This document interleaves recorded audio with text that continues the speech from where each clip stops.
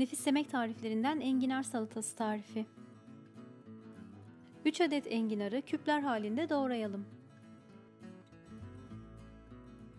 Enginarları uygun bir tencereye alalım. Ve üzerine geçecek kadar su, limon suyu ve tuz ekleyerek ocağa alalım. Enginarlar yumuşayıncaya kadar pişirelim. Daha sonra suyunu süzelim. Enginarları genişçe bir kaseye alalım. Üzerine 5 yemek kaşığı mısır, doğranmış 5 adet kornişon turşu, doğranmış 1 adet közlenmiş kırmızı biber, 4 yemek kaşığı garnitür, 2 tutam maydanoz ve dereotu, limon suyu, tuz ve zeytinyağını ekleyip karıştıralım. Uygun bir servis tabağına aldığımız enginar salatamız hazır.